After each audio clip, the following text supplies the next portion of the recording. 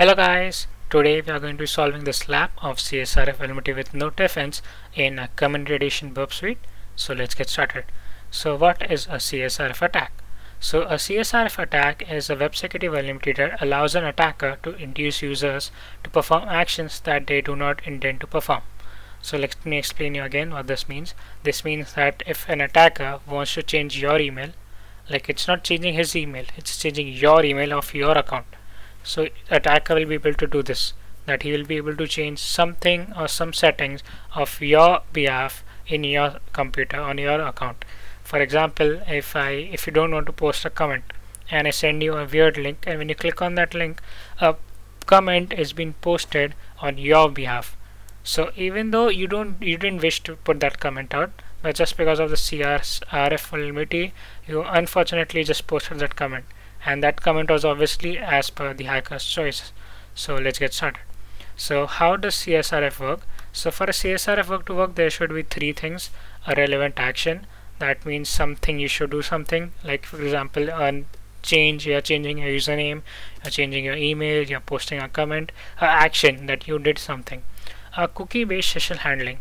That means that firstly when you log inside using your password and username then what will happen is that the server will give you a cookie.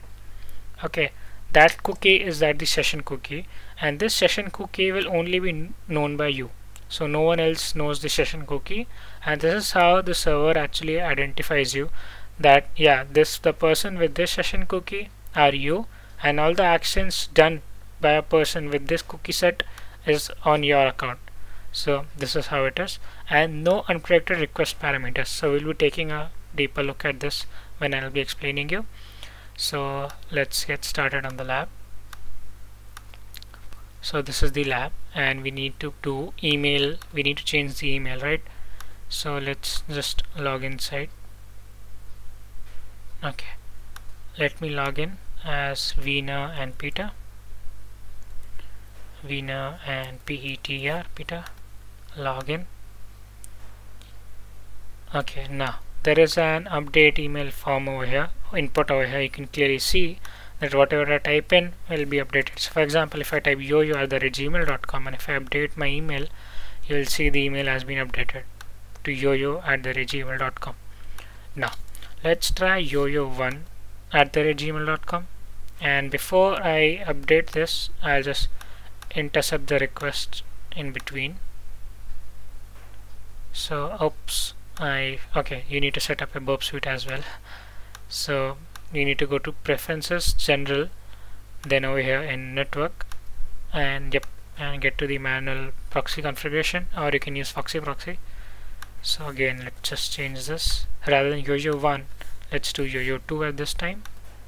Let's keep our intercept as on and once I send this update email you will see over here is that there is a email over here okay and I'll send this to the repeater.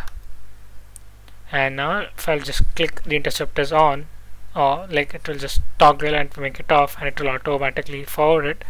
So as you can clearly see now the email has been changed to yoyo2 at the gmail.com now what I want is that using this same session cookie over here whichever person who comes here like whichever person who wants to like change his email. If you send this email request to the user then this email request will go by his session cookie thus changing his email. So rather than yo-yo if I want to change it to attacker so even that will happen. So for community edition let's see how it is done. So for community edition you need to write your own HTML page.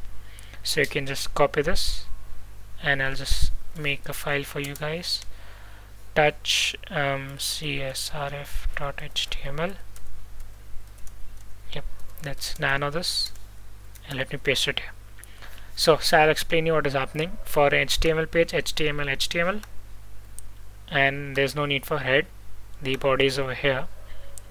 Now form is where we take input. Okay form is like whatever we do it's like form and there is input inside. And the action which we are going to do action like what we are going to do in this right? We need to do some action right? So what we are going to do the action which we are going to do is that we are going to go at this place this website right here. And over here in this website what action we are doing is over you can clearly see over here it's my account slash change email. That is the link at which we are going. Okay and the method is post. I guess if you'll see it clearly you can see over here the method over here is post post yeah now I guess you can see this better now. You can see the method is post. And now the input type is hidden. Now we'll take the input right? So the input type is hidden. That means it won't be showing up on the screen of the user so that he doesn't need to put any input. And the value of that input will be whatever I want. So what do you want to keep it? Let's keep it um, let's leave it like this pond at the rate user.net or let's just do pond as a user at user.com let's change it to this thing. Okay and document.forms.submit will automatically submit the form. So let me again explain you what is happening we have made an HTML page that will automatically submit the value of email with this value.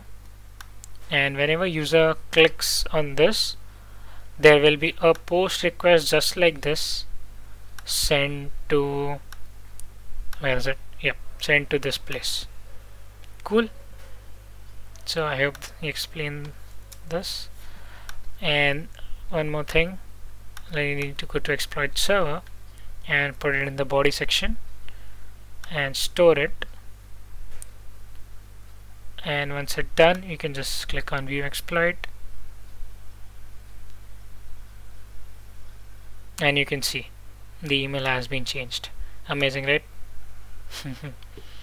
So just on clicking on that the email changed so now let's also do this. Let's deliver it to the victim so what do we need to solve the lab?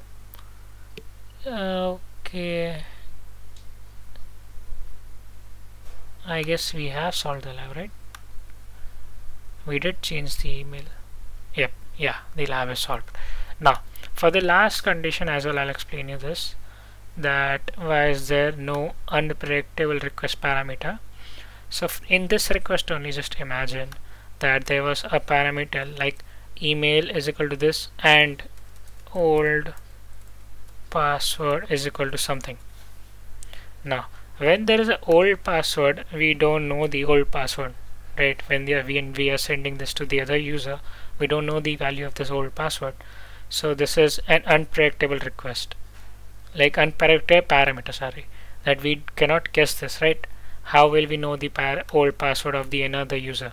So since we do not know this that that like we cannot create a CSRF attack because we don't know that value. So there should be no unpredictable request parameters. Cool? So I guess this explains it. And next I'll be solving the this one. Like whichever one's the next. Yeah this one. Yeah. So I hope you like this video. Like and subscribe and I'll see you next time